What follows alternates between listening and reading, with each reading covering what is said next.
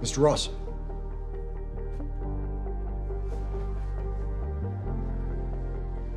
I don't think I can add anything to that.